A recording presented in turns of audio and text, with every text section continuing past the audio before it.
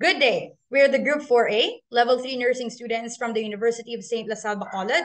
Today, we're going to be presenting our research study entitled Bridging the Flow of Life, Live Experience of Teenage Mothers During the Early Phase of Breastfeeding. I am Ellisha Perocho, and together with me are James Joseph Panes, Phamela Joy Peñaflorida, and Reve Denize Pia. Now, for the purpose of the study, the purpose of the study is to explore the live experience of teenage mothers during the early phase of breastfeeding in Bacolod City. Treatment methods, research design, phenomenological approach, research design. The goal of the phenomenological approach is to enlighten and achieve a profound understanding of a specific phenomenon through the perception and distinct individual affected. For the study sample, the participants are six teenage mothers ages 13 to 19 years old residing at a rural and urban community. For the research instruments, this study utilizes a semi-structured interview and discussed to collect a focused quantitative data. Also, an interview guide adapted to the purpose and research question was used. Now for the results of the study. This study explored the lived experience of teenage mothers on breastfeeding, and two major themes were identified. First, teenage mothers facing difficulties with breastfeeding, and that teenage mothers fighting through resistance. For theme one, the difficulties they experience can vary significantly and may have affected their physical, mental, emotional, social, and spiritual aspects of well being. These difficulties were comprehensively discussed and investigated in this study with the following identified sub themes. We have experience of pain, accompanying physical changes, roller coaster of emotions, sleepless nights, unvaried dietary intake, stigmatization, and decreased engagement and self care. For theme two, teenage mothers are sensitive to sudden changes in behaviors that may require support from partners families, peers, and professionals to continue breastfeeding. Multiple reasons have been associated with the ability of teenage mothers to face and overcome the resistance that breastfeeding challenges have brought up to them. The identified subthemes are breast milk sufficiency, support system, means of coping, benefits of breastfeeding, mental toughness, faith in God, and conducive living conditions. The study found that teenage mothers face a range of physical and emotional challenges during the breastfeeding process. Many mothers experience pain, soreness, and other physical discomforts while also dealing with emotional ups and downs that come with caring for a newborn. The physical and emotional challenges confronted by these mothers can be overwhelming, and it is important to supply them with the means and resources that they need to succeed. Despite these challenges, many mothers demonstrated remarkable mental toughness, fortitude, and perseverance and their efforts to provide for their children. The results of the study are in line with previous research on the breastfeeding experience of teenage mothers. According to a study by Ortiz in 2019, many teenage mothers struggled to strike a balance between their personal demands and the needs of their infants and felt pain and soreness during breastfeeding. The importance of having a supportive network was also highlighted in the study. Teenage mothers who had access to supportive family members, friends, and healthcare professionals reported feeling more assured and successful in their breastfeeding endeavors. Programs and resources that promote and facilitate this support can be an important step in addressing the challenges faced by teenage mothers during the early breastfeeding process. However, the study also found that teenage mothers often face stigmatization from their communities and society at large, which made it difficult for them to feel supported and accepted.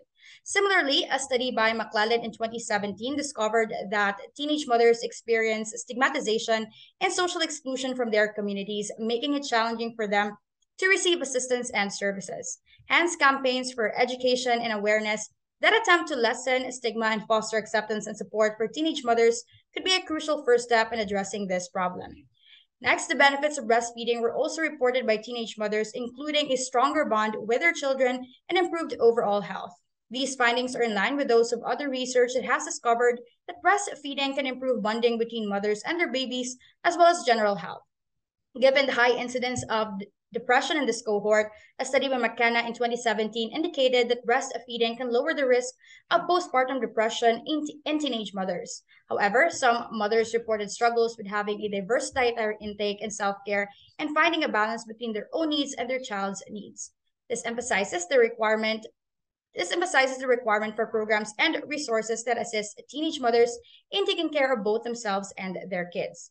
Overall, the results of the study illustrate the complex and challenging journey of breastfeeding teenage mothers and stress the significance of providing them with specialized assistance and tools to help them navigate this process. Access to lactation consultants, counseling, and support groups are a few examples of this. Policies and social attitudes may also need to alter to better accept and support teen mothers and their families. Now, for the conclusion, teenage mothers face a plethora of challenges and difficulties during their breastfeeding journey. These difficulties were significantly attributed to feelings of pain, progressive physical changes, limited sleeping hours, ambivalence, social stigma, and lesser time for oneself. Breastfeeding requires skin to skin contact between the mother and the child. To have effective breastfeeding, proper latch on is important. Hence, teenage mothers primarily complain of pain due to the continuous stimulation of their nipples. With this, they employ several breastfeeding hacks, like combing or tying their nipples or breast from the bottom up to their chest, as well as directly breastfeeding them to their babies to relieve pain. Encountered physical changes were also noted wherein participants highlighted the importance of self-care and proper dietary intake to combat such changes. In addition, a degree of ambivalence was also reported by teenage mothers, time by time experiencing happiness and then shifting to fleeting moments of sadness.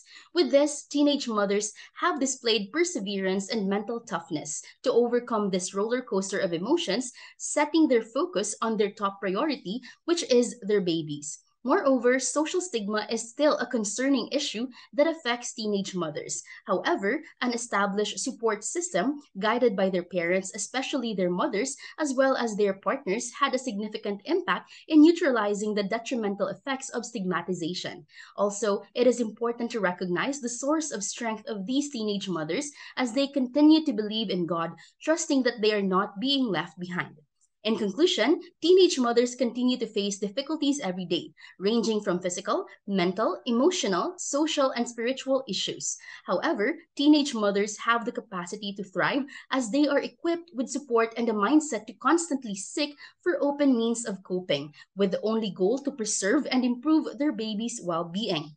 Moreover, Roy's adaptation model may be used to identify and recognize actual stressors and difficulties in order to employ appropriate means of coping to achieve homeostasis and maintain a good state of well-being.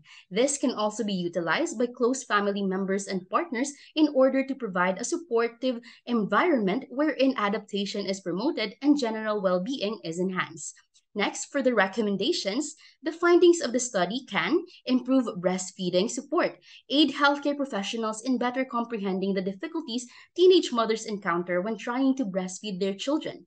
This knowledge can be utilized to create tailored breastfeeding support initiatives for teenage mothers that consider their particular requirements and issues. Next, inform policy be used to drive policy decision concerning maternal and child health, such as the development of guidelines for breastfeeding support for teenage mothers or the provision of supplementary resources to manage the specific needs of this population. Next, raise awareness. It will help boost awareness among healthcare professionals and the general public about the experiences of teenage mothers in the early phase of breastfeeding. The stigma and misunderstanding associated with teenage pregnancy and breastfeeding may be lessened as a result of this raised awareness. Lastly, inform future research. This is B. This is, will be used to direct future research on teenage pregnancy and breastfeeding, including the development of interventions and programs meant to help teenage moms achieve better breastfeeding results. For our references, you can scan here at the QR code located below the poster. Thank you so much for listening. Have a good day.